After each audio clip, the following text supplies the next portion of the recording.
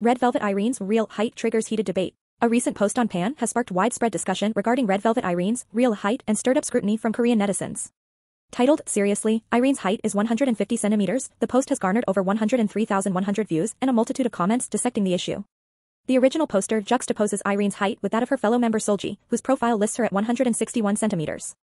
Even after accounting for a potential 2 to 3 centimeters discrepancy, the alleged difference between Irene and Seulgi as well as with Yeri and Wendy at approximately 156 to 7 centimeters remains a focal point of contention.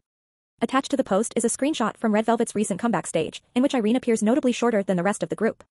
However, keen-eyed netizens pointed out in the comments that Irene's posture in the screenshot, due to the cosmic choreography, involves a hunched stance with bent legs.